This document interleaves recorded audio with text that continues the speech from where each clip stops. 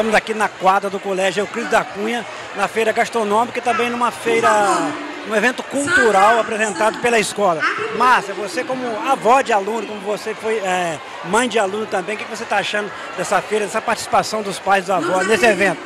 Ah, é maravilhoso, né? A gente fica muito feliz de ver essa, esse evento maravilhoso, a participação dos avós, né, dos pais. É muito lindo, eu acho maravilhoso isso. E essa participação de, de pais, de alunos, essa integração da comunidade com o colégio é muito importante para o desenvolvimento dos alunos, né? Isso, é muito importante. Porque para as crianças é maravilhoso, né? Para o desenvolvimento deles, né?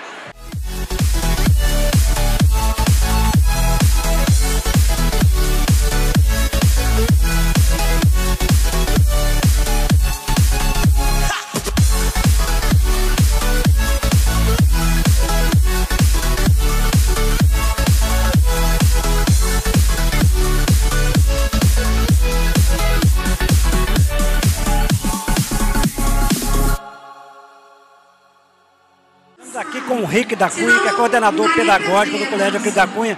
É, Rick, fala um pouquinho pra gente deste evento cultural, dessa feira de gastronômica do Colégio Euclides da Cunha. Então, né, esse é o nosso primeiro Euclides da Cunha, é, é, primeiro Euclides Cultura, na verdade, né, é o nosso primeiro evento do projeto pedagógico desse ano, que é Euclides pelo Mundo. Né, visto que esse ano é ano de Copa do Mundo, Copa 2018, a gente está celebrando a cultura, hoje a cultura culinária e de música dos 32 países que estão participando da Copa do Mundo desse ano.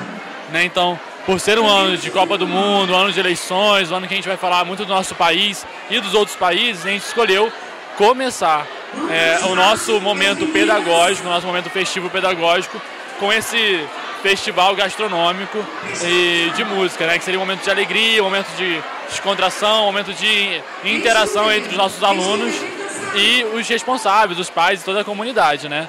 É, os, os, nossos alunos, o que, que eles fizeram?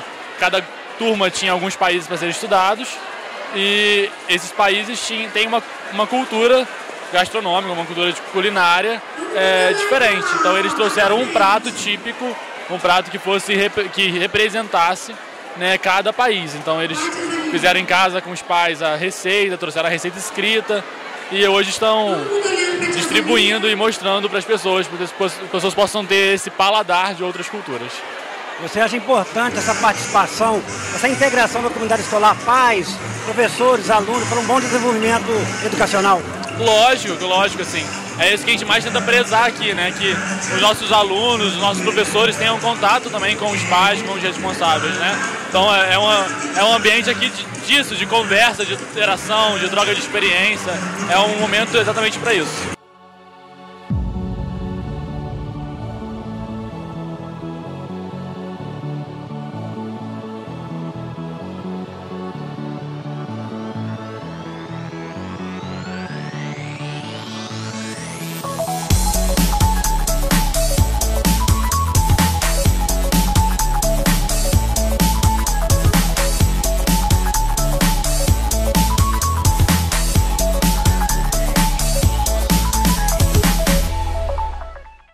Estamos aqui com um grupo de alunos do Colégio Euclides da Cunha. Vamos falar com o Gustavo, que cursa o segundo ano do ensino médio. Gustavo, o que está sendo para você esse evento cultural, essa feira gastronômica da escola?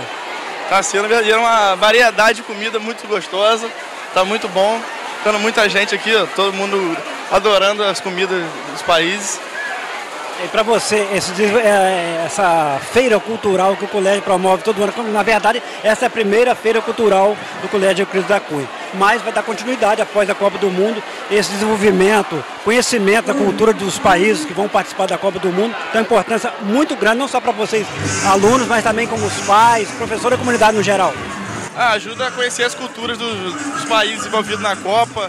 Todo mundo conhece ah, a diversidade de cada país com suas diferenças e tal. Isso daí é muito bom para promover na escola, né? Cada um conhecer cada cultura do, do país.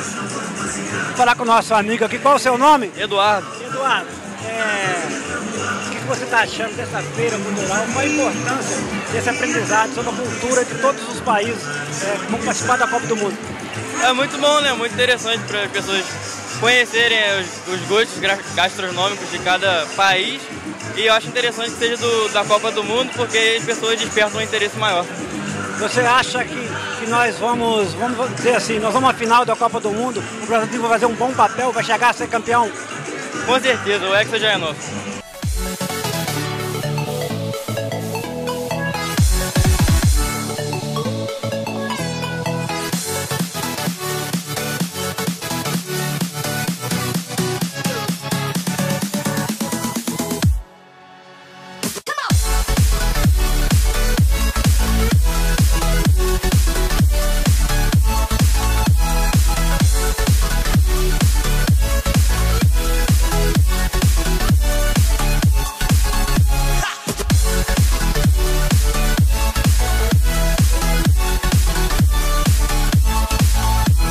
Nilcimar, nossa amiga Nilcimar, professora do colégio Euclides da Cunha, está aqui com a criançada que vão se apresentar agora há pouquinho, né? Nessa apresentação cultural. O que está sendo para você? O que, que você tem a dizer sobre esse primeiro evento cultural do Colégio Euclides da Cunha, especialmente sobre os países participantes da Copa do Mundo?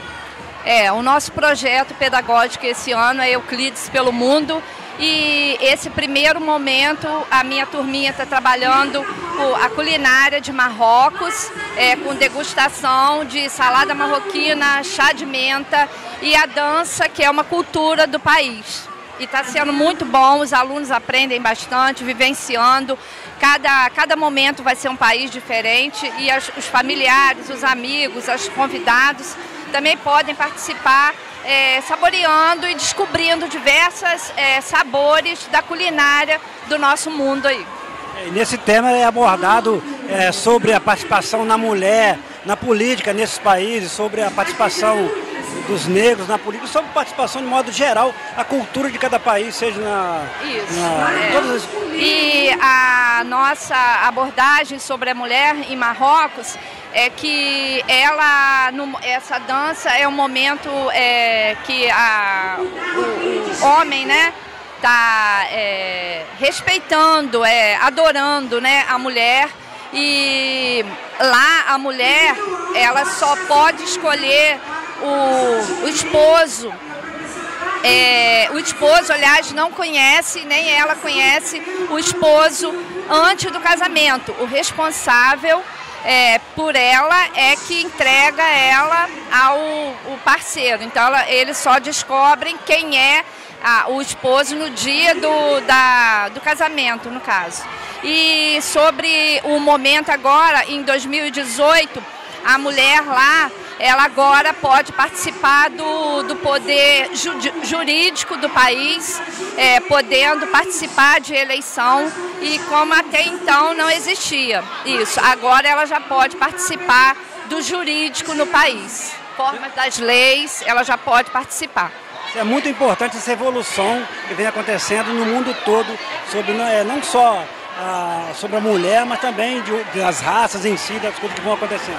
Isso, a gente vai descobrindo com isso e vivenciando, né? E eu acho que é, procurando saber um pouco da, dessa cultura e com isso é, a gente entra em sintonia, né, a gente se aproxima mais de outros, de outros países conhecendo dessa forma. Inclusive, um aluno meu, o pai falou assim, é, o filho falou, pai, no final do ano eu não quero ir para Beto Carreiro não, que é uma, um dos pontos turísticos né, do nosso país, de diversão para a criançada e para os familiares. Aí ele virou para o pai e falou, pai, eu quero conhecer Marrocos primeiro, que eu fiquei encantado com esse país, além do nosso.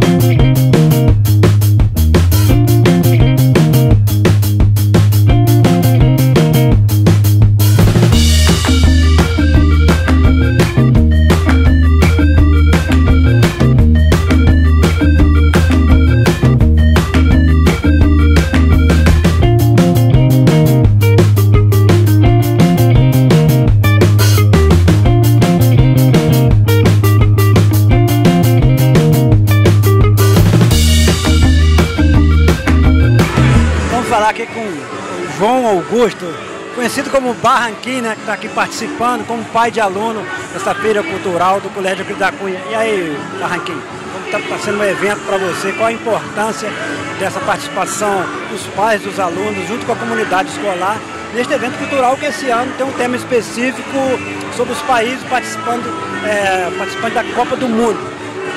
Primeiramente estou gostando muito, que as, as comidas preparadas pelos alunos, pelos, tá uma delícia.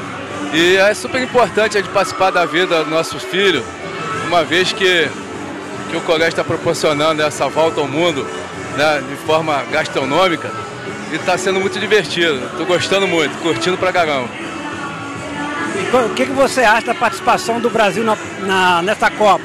Nós vamos à final ou sairemos antes? Vamos ser campeão do mundo? Eu acho que depende de um vascaíno, Felipe Coutinho. Ah, um vascaíno. Sempre puxando a sardinha pro lado do Vasco, mas com certeza vamos torcer para que o Brasil tenha uma boa participação, que sejamos campeões do mundo mais uma vez. Eu acho que sim. Dependendo de Neymar, Tite, Felipe Coutinho, né? a nossa zaga é uma zaga muito boa. Tem o Marcelo, que é o melhor lateral do mundo. Então acho que a gente tem tudo para ser campeão do mundo.